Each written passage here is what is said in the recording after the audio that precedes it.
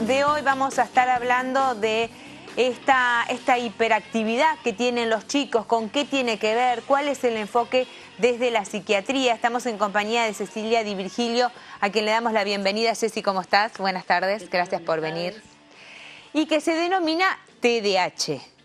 ¿Qué es? Bueno, el TDAH, como son siglas, que significan trastorno por déficit de atención con hiperactividad. Bien.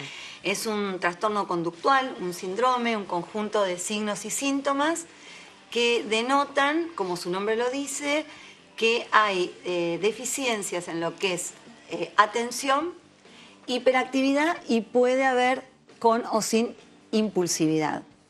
Eh, a lo largo de los años, de las décadas, ha recibido distintos nombres. Otro de los nombres que ha recibido es síndrome hiperkinético o la famosa hiperquinencia en los niños eh, o síndrome de hiperactividad, ¿no?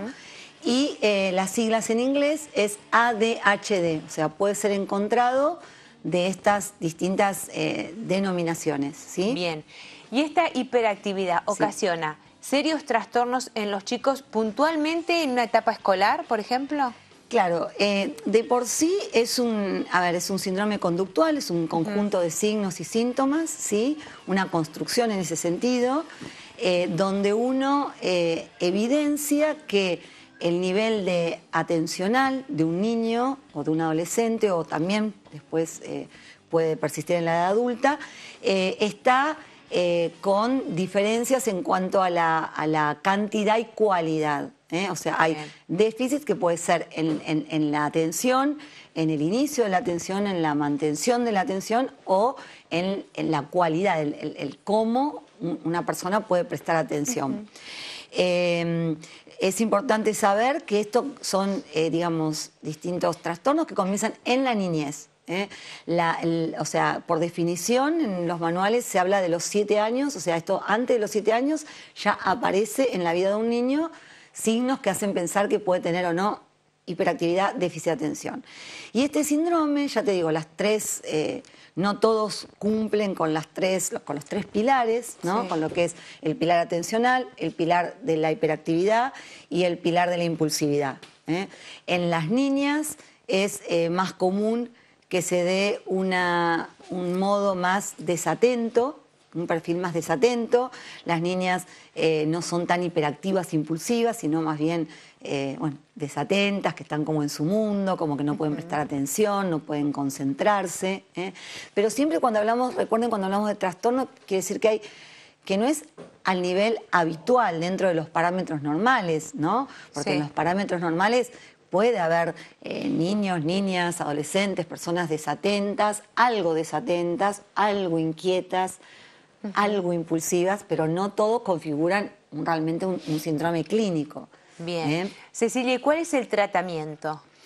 Bueno, el tratamiento en los casos eh, que lo necesitan, bueno, también se evalúa caso por caso de acuerdo a qué necesita esa persona, niño, adolescente, inclusive adulto, en ese momento de su vida. Pero antes del tratamiento no olvidemos que siempre está el diagnóstico. Por lo tanto, un buen diagnóstico es lo que va a condicionar que realmente eh, uno lo considere como una problemática a tratar y acceda al tratamiento que corresponde. Digo esto con respecto al diagnóstico porque eh, la hiperactividad en sí como síntoma puede ser eh, síntoma o inclusive la, la, desatención de un montón de otras situaciones que no necesariamente tienen que ver con el TDAH. Me refiero a niños que han tenido un acontecimiento vital eh, importante que hacen que estén particularmente más hiperactivos o más desatentos o más nerviosos o más inquietos, no condiciona que tengan un trastorno por déficit de atención. Pero sí, como síntoma también muchas veces merece ser tratado y siempre tenido en cuenta, a ver qué quiere decir. ¿Me explico? O sea, un mismo síntoma puede corresponder a distintas problemáticas. Cuando hablamos de ya de un TDAH consolidado, diagnosticado, ahí los tratamientos pueden ser distintos. En algunos casos, eh, con una terapia cognitivo-conductual en general, donde ayuda a eh, poner a punto o mejorar todo lo que es eh, funciones ejecutivas, todo lo que es, digamos, todo lo que está, digamos, no funcionando del todo bien, a las personas que realmente le suceden estas, estas cuestiones. ¿Y si llega hasta la medicación? Depende del caso que sea. Y en algunos casos, sí, tienen tratamiento médico. El tratamiento médico es un tratamiento eh, seguro, apropiado, pero bien realizada, digamos, el diagnóstico y la oportunidad de un tratamiento médico. Me refiero a que está en manos del especialista, ¿sí? O sea, el especialista, eh, nosotros somos quienes podemos eh, evaluar y poner, como uno dice, en una balanza el riesgo-beneficio y poder decir, bueno, este, este niño o este adolescente merece recibir este tipo de tratamiento, ahora necesitamos este apoyo médico con, medicación específica. Y sí, Una medicación específica, discúlpame, que perdura en el tiempo que tiene puede ir variando, digamos, a lo mejor es un determinado, una determinada cantidad de meses eh, o años y después... Exactamente, importante tu pregunta porque a veces cuando uno eh, necesita tomar esa conducta terapéutica de agregar un fármaco al tratamiento de, ese niño, ese adolescente, em, muchas veces creen que es de por vida. Nunca es de por vida, jamás. Es un tratamiento como, digamos, lo rigen las mismas reglas que cualquier tratamiento médico y medicamentoso en cualquier rama de la medicina. Es importante eh, tener en cuenta, yo a veces em, bueno, soy pediatra también, pero como psiquiatra infanto-juvenil, siempre como aclaro eso a los papás para que se queden tranquilos, porque está este mito de el psiquiatra los va a medicar siempre y de, por vida y va a psiquiatrizar la cuestión. No. No es así. Todo lo contrario. Los psiquiatras infanto-juveniles, eh, digamos, nos y, en general, ¿no? Nos, nos, encargamos de que eso quede bien claro, no solo con, la explicación, sino con los hechos. ¿no? Eh, tenemos que ser muy criteriosos y de hecho eh, lo somos, estamos formados para eso, para saber cuándo y por qué y para qué. Y bueno, y ahí sí, cuando eso eh, es una indicación precisa, el tratamiento es muy efectivo y mm, hay distintas opciones. Eh, en especial, por eso se evalúa caso por caso, cada situación. En general se trata el momento donde el niño o el adolescente más necesita em, poder prestar atención, eh, estar, digamos, eh, bien, en perfecta, digamos, perfectas condiciones que de otro modo no lo puede regular y que le va a permitir a él, esto es importante, funcionar de un modo óptimo como si no tuviera esta problemática en tratamiento. O sea, porque ¿Qué diferencia que una hiperactividad, una desatención o inclusive la impulsividad esté dentro de rangos, dentro de los parámetros de la normalidad o no? Es, es cuánto afecta a la vida del individuo, ¿no? a lo funcional.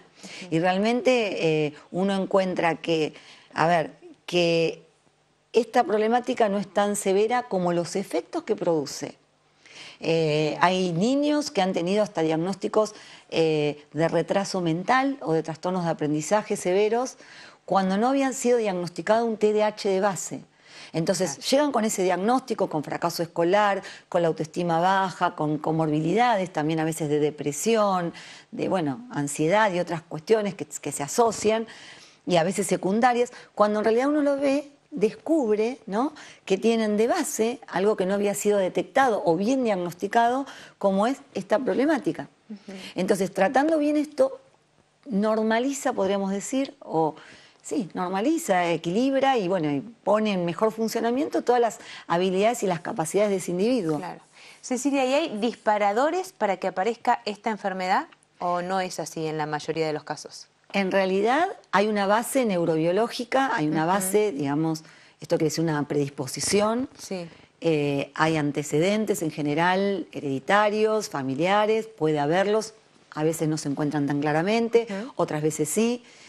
Eh, y después esto aparece o se, digamos, se pone en manifiesto, todas estas conductas, cuando el niño o el adolescente está expuesto a situaciones donde requieran especialmente mayor atención para poder aprender, como estar en la escuela primaria, eh, frente a los procesos cognitivos que implican todo el aprendizaje, como también mantenerse quieto para poder prestar atención desde el jardín, desde la primaria, bueno, secundaria y toda. ¿eh? Lo importante es saber que esto existe, no es un mito. Eh, lo bueno es tener claro que no debería existir ni un sobrediagnóstico ni un subdiagnóstico, sino diagnósticos apropiados. La consulta del especialista no hay que tenerle miedo, porque muchas veces a mí eh, también me llegan por psicólogas que están tratando a niños hace muchísimo tiempo y dicen, bueno, es hora de una interconsulta y no en todos los casos tampoco necesitan em, un tratamiento médico, digamos, un tratamiento medicamentoso. A veces lo que uno ve evalúa toda la integridad del desarrollo de ese niño, de ese adolescente y uno puede dar pautas conductuales, asesoramiento en cuanto a las terapias, eh, asesoramiento a la escuela, a la familia, ¿no? Em, sí, depende el caso, como bien lo explicabas recién, que hay posibilidades de que si es muy severo haya que llegar a la medicación, pero también hay un seguimiento, hay un control, y si no, con una terapia, porque lo que se trata es justamente resolver el problema y mejorarle la calidad de vida. ¿no? Exactamente, el funcionamiento y la calidad de vida. Y cuando se llega al tratamiento médico con una medicación, también que quede claro que es en los casos que se necesitan y, si está bien administrado es eh, seguro, no hay ninguna dificultad, no genera dependencia y un montón de mitos que, también hay detrás de estas cuestiones. Inclusive eso se trabaja con los niños, eh, em, empoderándolos, digamos, haciéndoles saber que ellos están logrando los cambios y no es una pastillita mágica ni mucho menos. Eso eh, queda clarísimo con los chicos, con los padres. Pero bueno, lo que sí, eh, digamos, para transmitir es que cuando no se detecta, trae más eh, dificultades a nivel de funcionamiento. Yo he tenido mamás que han ido eh, a ver la Virgen de Salta, a caminar a Luján por un niño inquieto, el que no puede dejar de portarse mal. Y bueno, en general hay un déficit de atención con hiperactividad subyacente o no detectado o no bien eh, abordado. Sí, o que puede ser que en un principio como que llame la atención con esto de que es inquieto y listo, y en realidad hay un problema de fondo que se va agudizando a medida que va creciendo ese niño, ¿no? Exactamente.